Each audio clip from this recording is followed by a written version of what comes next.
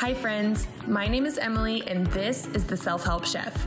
I believe that food is the ultimate connection to all things mental, physical, and spiritual. This series is all about how to navigate important self help topics while making delicious plant based food. Food is the source of community, important discussion, family, and so much more. I encourage everyone to cook along with me and my guests while we talk candidly and openly about everything health and wellness. Hi, friends. My name is Emily, and welcome to the Self Help Chef. I'm very excited to introduce our guest today. She started as a woman in the corporate world, but now describes herself as a hungry woman inspired to create hashtag barbecue for all. This means plant based, gluten free products designed to combine easy and enjoyable recipes to bring for barbecue at home. She's a founder of Pure Grit Barbecue, and she's opening her new brick and mortar in 2022. I'm super honored to be working with her and to call her a friend of mine. It's Kerry Fitzmaurice. Hi. Thank you so much for having or for coming here and cooking with us today. I'm, so excited to cook with you. I mean, we cook together all the time. all the time. But it's exciting to now in front of Yeah. camera, and we're actually in your hometown. Well, not your hometown, but where you live right now, New York Yes. City. So I'm so excited to be in a New York City kitchen, cooking with you, talking about pure grit, and also another really important topic. We always combine um, self-help topics and plant-based cooking, so I thought it was perfect to talk about goal setting and all Love it. about how you've learned to set goals and what you've experienced in your career. Absolutely. I can't wait. It's going to be so fun. It's gonna be great. All right, so we are making our famous plant-based impossible meatloaf today. Yes, we are. And so this is a fan favorite, um, something that you thought of and we Yes. Created and made really amazing together. Yes, we did. So it's kind of like a teamwork of uh, a menu item. Yeah, and it and we've had two pop-ups um, in Brooklyn, and both, I would say, I mean, besides the beans, Yeah. which we know is a crowd are good. pleaser, the Impossible Meatloaf was off the charts. I mean, Oh we God. sold out so many times. We It's- were even shocked. How I, it's it's really delicious, and although we don't have a smoker here, it is equally as delicious. Yes. I promise. I made this for Thanksgiving and omnivores and plant-based eaters Absolutely. completely devoured it. I agree. So I'm really excited to be um, showing you guys how to make it. We're gonna be showing you how to make it. We're gonna be talking about goal setting. So we'll talk about all of our ingredients first that we have in front Yes. of us.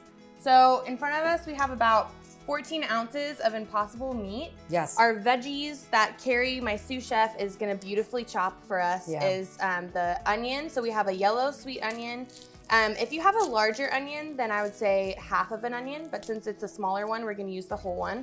And then we have a couple cloves of garlic. I love garlic, so. so do I. Good, so it's usually three, but we're gonna do four. This is mushed up lentils, and this is a really awesome way to bind something. And then we have the famous Pure Grit barbecue sauce and the famous Pure Grit hot sauce, and as well as the Pure Grit barbecue rub. So this Yes. is part of all of our sauces in our kits, and we're using all of them in our meatloaf recipe today. Yes. And then we also have uh, liquid smoke, which is our hack to make it give that smoky. And um, yeah, so we're gonna get started. Uh, Kerry, do you want to show us how you chop an onion? I know I'm really unhappy with this because I um so I was watching one of Emily's previous shows where she was showing how to cut an onion and I really felt very can we say that on television like cocky that I was like I can totally do this. You can. And so I was, you know, so So now you cut off this end. Okay, Yeah. I was like I know that you flatten it so that you Mhm. don't get the you flatten it, and then you still want to see the root. So we're gonna take it, turn it root side up, and you can still see the root. So Oh, then- that's the root? yeah. So root, stem. Okay. Um, and then you still do this and then this, right? Yes. So there's three steps. First, you're gonna cut it in half. Cut where it- you can see like with the root. So cut the root in half. Okay, I'm do it Yes, this way. perfect. All the way to the end. All the way through. Okay. And then I'll help. We can both peel these skins off. You know what? One of the things you taught me that I really like um, is the trash bowl. Oh, we love a trash bowl. I never Oh, thought of get that, a trash and I was so annoyed. You know, I kept having to walk over to the Why did I trash, forget about a and then I was like, "Oh my gosh! Of course! Why would you not do a trash bowl? Yeah. That is like, We're doing a trash bowl, but we're gonna do a trash bread pan. So Okay. put it in our trash bread pan. and then this way. uh, yes, we're gonna put the root to our left, so or out facing outside, and then Yeah. the stem is facing inside. And remember, it's the saw motion first. Oh, so, you do this first. This is where we don't cut all the way through. And then keep your hand up so you don't. There you go. Yes, Kerry. So you'll have it here. Okay. And then we'll do slices. So Okay. saw, slice, Okay, so and then, turn it back where you started, Oh, okay. Back where I started. and then just completely chop it up. oh my gosh. Let's see how you did. It's perfect. We were talking about goal setting. What was your story of finding food and finding being passionate about plant-based food specifically? And what made you want to change your career? It's, I mean, those are so many layered and good questions. But it's for me. Um, can you cut this so I can talk? Because I don't think I can. I don't think I can cut and talk at the same time. Okay, Teamwork. so um, I stopped eating um, red meat and pork when I was ten. So obviously, I started really teaching myself how to cook back then because my mother had a rule. She said, you know, you're one of four children in this house, and I'm not making special food for you. So if you want special food, you make special food. I think I ate scrambled eggs and rice for Your 10 years. childhood. So um, I started thinking about food way back. And I started thinking about implications and I just started thinking about a lot of things. And so it never really became anything other than something I did because I never thought of myself as a cook or somebody that could cook. And I never thought that I had a passion for cooking. Mm-hmm. It was always a means to an end and seemed complicated. Mm-hmm. And then what's amazing is I decided, um, you know, I, I've been in branding and marketing the latter half of my career. And I thought to myself, wow, like if if vegan food or vegan fast casual brands were better branded, mm-hmm. Could they be more accessible to more people?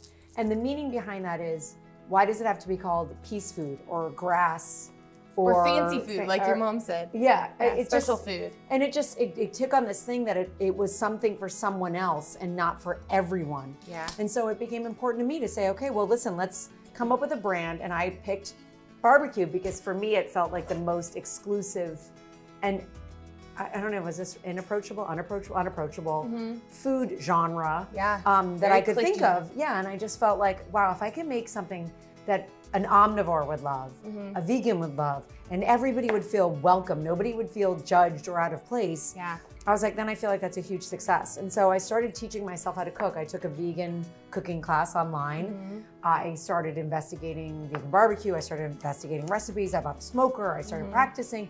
And when I started three years ago, alternative proteins like Impossible and Beyond really weren't mass. Yeah. So I was doing tofu, tempeh, sweet potatoes, um, We're doing beans. yeah, baked beans, coleslaw, you know. And then I um I was trying to work on a biscuit or a cornbread, um, thinking through what this what the restaurant would look like. And that's when um my um, our partner Jenny and I went to Vegandale, which is an amazing vegan festival so here in New York. City.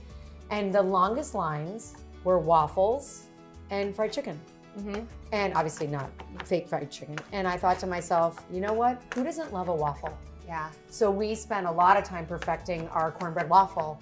And you'll see that even here today. I tend to make them by the dozen and I freeze them so that I can have them for breakfast or for dinner, Yeah. savory or sweet. And so that kind of um, has just kind of led to this passion. And I think that's so interesting because I was listening to a podcast the other day about goal setting and different goals and behavior change and whatever. And somebody said it was Brene Brown. She was saying that. I love her. Oh, she's the best. She's the best. And she was saying that um, as long as, exactly what you said, as long as you always are thinking about every day, what kind of person do I want to be and what kind of change do I want to make in the world? It's easy to make those goals and to find your way and to find, you know, your journey. Mhm. And I think that's totally. You just ended up finding that you were very passionate about vegan food and you found that, oh, there's not a lot of options in barbecue. So, Exactly. and then you found I can be a restaurant owner and, that's that and is be fearless. and that's important. Everybody starts somewhere. yeah. and you got to have a goal and so that's kind of um, when you're doing something you really love and you Mhm. really believe in Mhm. it's so much easier i know everybody says that and you Yeah. want to punch people that say that when they're just like oh if you find your life passion you're Yeah. going to be blah blah blah and i remember you know in oprah when she turned 50 or whatever she would talk about that all the time Yeah. and it really is true when you when you're like it doesn't feel like work at the time i came up with this idea my partner was like um, not jenny but scott our other partner um, was like well it, it, I, I was saying this system was broken, that barbecue's broken, it's not inclusive of Mm-hmm. women, it's not inclusive of vegetarians or vegans, there's Yeah. no options. And he said, well, stop complaining, do it. I love that. And I, love was that. like, oh, okay. And so I started this when I was I um was, I had another job um, as the CMO of a company. Mm-hmm. So Jenny and I were working together there, and Jenny's our other partner. she's awesome. And we just kind of, I mean, I got to tell you, we just kept digging away at the brand. Digging, we worked nights and weekends, nights and weekends, and it's like the every little every little thing adds up to something major over time. I mean, we've been working on this for nearly three years. We've had the products in the market uh, for about a year and a half, and we're looking to open our first location in beginning of 2022. If that's not a long journey, people will say, "Well, this came out of nowhere." No, Yeah. it didn't. Yeah. And I would argue that most people that like came out of nowhere have been working on it. I mean, this is a three-year passion Yeah. project that is finally coming to fruition, and it it really helped when when we met Emily and we met, and then all of a sudden it was like the missing piece. It all clicked together. It did. It did. Yeah, it did. So this is already. We put in our uh, we put in a Three we quarter put in three quarter cup of barbecue, Barbecue sauce. sauce. We put in uh, four cloves of minced Can you garlic. do the rub? Uh, we are going to do the rub. Yeah. So about a tablespoon. And by the way, this rub, you're gonna notice how fine it is. Mm-hmm. So this is my personal hack because I live for this thing, obviously. The rub comes in like a pouch. But what I do is I put it in my um, NutriBullet Oh, nice. and I blend like it sugar. so it turns into like a Yeah. fine powder. Okay, so this is holding together really nicely. And so we're just gonna pat it down. Yeah. And then we'll put it in our oven we have set to 375. And we'll, you can do it, well, you can do 375, 400, yeah, 400, and then we'll do it for 25 minutes, right? 25 minutes we'll check it and, And then we're top, gonna top it. top it because this is our uh, famous thing about our meatloaf is that we're going to uh, mop some barbecue sauce on top. And so it's gonna have like a really nice crust, just like you would see with like a brisket or Mm. ribs or anything you'd see in a barbecue restaurant. So that's my favorite part because when you crunch into it, it's Yeah. like, oh my God, it's so caramelized and Yeah. amazing. And so, yeah, so we'll see you after 25 minutes.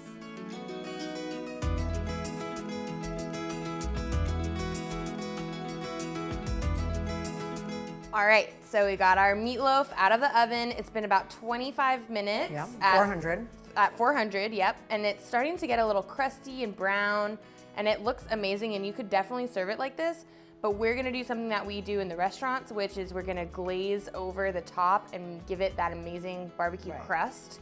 And so what we've done is just mix up uh, some of the barbecue sauce and some of the pure grit hot sauce. And so if you don't like spice, you don't have to Exactly. use it. But I we both like spice. So what I'm gonna do is I'm gonna drizzle some on. And this is about a quarter of a cup. So that's basically all we do. And then we're gonna put it in. And then you drained it before we did this. I did drain it. So because there's a lot of like the lentils and the meatloaf and everything produces a lot of moisture, um, I did have to drain it, but luckily the meatloaf is so dense that it won't fall if you drain it into the sink. So Yeah. drain out that extra moisture and then we're gonna coat it and then put it back in the oven for 10 minutes. And while I do that, we were talking off camera about a specific goal that you do every day that I always tell people when I'm talking about you. I'm like, she wakes up at 5 a.m.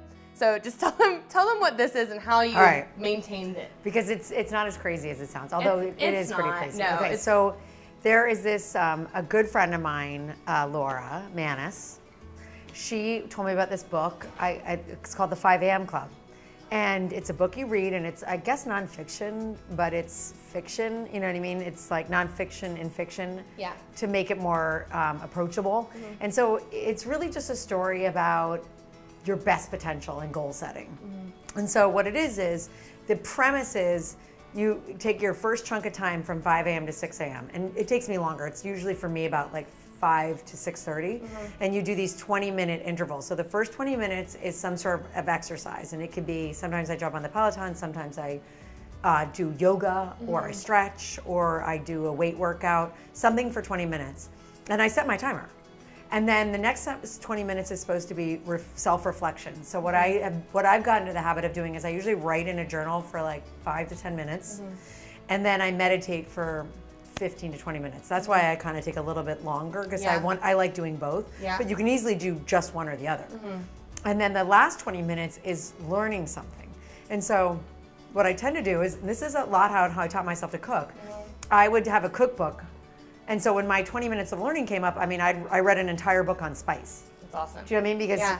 you do it every morning, 20 minutes adds up. Because if you look 20 at this book, I'm like, I'm never going to read a book on spice. Mm-hmm. But if you're just like, you know what? It's only 20 minutes. I, you can do anything for 20 minutes. Yeah. And then what I normally do is just sit, continue sitting at the dining room table, and I'll kind of map out my day. Mm-hmm. And the, the, the whole idea is that you do the hardest things in your day in the beginning when your brain is more attuned. Because you know, by the end of the day, by three o'clock, forget it. Yeah. I'm worthless. Nap time. I end up going into the kitchen because you can totally zone out and cook. Yeah. But it's this idea that you day stack and you you build in free time, you build in fun time, you build in all of the fun, great things you want to do in your day. It made my day so much more controllable and I felt so organized. Yeah. And we call it micro wins because it was like I never got daunted or freaked out because Yeah. I just kind of was like, let's look at this hour. uh, what I've figured out, what helps me, is I can get overwhelmed easily too because I'm a. I've figured out from growing up, going to college, and my career and whatever. I'm a very all or nothing thinker, and that's something that I've had to unlearn. And so when I get into that habit of thinking like all of the things I have to do, and like, oh my God, there's so much that. So many decisions I have to make, and everything is a life and death decision or whatever. And I get really down the rabbit hole. Yeah. I just sit down and I make a to-do list, and that's helped me so much because when I make a to-do list, I'm like, oh, there's not that much that I have to do, Exactly. and I can do it all in one day, and then I can go enjoy and treat myself and Mm-hmm. um, like nourish my soul and my mind and body, and that's one thing that's really helped me. So I've been starting to do that, and I have been working out every day, which is something that that I have been really inspired by. I have to say, Emily, like, you know, I'm so impressed with, I mean, your generation in general, but also you in particular, is, you know, when I was 25, I, I don't know if I could possibly understand that I, there was an option beyond you go to school, you go to graduate school, you get a job, you stay in that job, you get married. And, you know, I broke the mold in the sense that I was like, whoa, whoa, whoa, I don't want to do that. But it was sort of like, your generation is so amazing that you're able to really think through what life and this means to you and that you have the, the- uh, so many great opportunities and you're seizing them and and making your own content and being like taking your fate in your own hand i mean it's so it's so inspiring to see because i have the guts now at 52 i would have never had the guts at 25 Thank you know you. I, I mean it's But incredible it's, it's like you said, you have to have your support system. it's important to have your people It is important to that your believe in you Yeah, it's so true.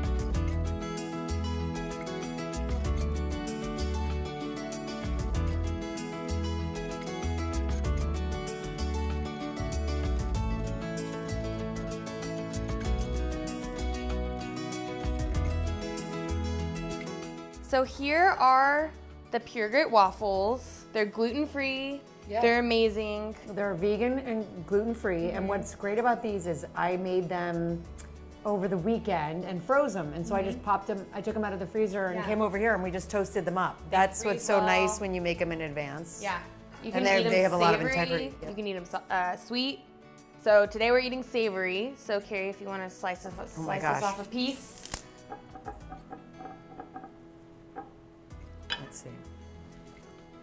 Even though it's just us eating it. Look at that, Oh. It looks like real meatloaf. doesn't it? Because it? it is real meatloaf. It's just vegan. Yep. And then if you want to see that caramelization on the other side, on that top right there, it looks like a freaking brisket or something. Woohoo! you. All right, so here we are, our Pure Grit meatloaf and Pure Grit waffles. And I feel like I'm gonna make a eat that. sandwich. Yeah, I'm gonna make a sandwich too. I don't know. I was thinking about Yeah, about just little bites. like this. Yeah, cute. Watch. You wanted me to drizzle some barbecue Yeah. sauce? Because you know, uh, everything needs more barbecue sauce. Everything sauce. needs what you can never have enough. Okay, ready? Yeah. Oh wait, I want to make one too. Look how cute it is. it's so cute, mini Sammy. Okay. Cheers. Cheers. That's a big bite. Oh, It was always so good. Mm. I never get tired of it. me neither. Neither will you. Mm-hmm. You never. Woo! You never will. It's so good. Well, thanks for having me. Thank you so much, Kerry. This was so much fun. And you guys check out Pure Grit and all of the amazing sauces and look out for our uh, brick and mortar that's coming very, very soon. And remember, you are important, you are worthy, and we will see you at the next episode. Thank you. Good job. Good? Very good.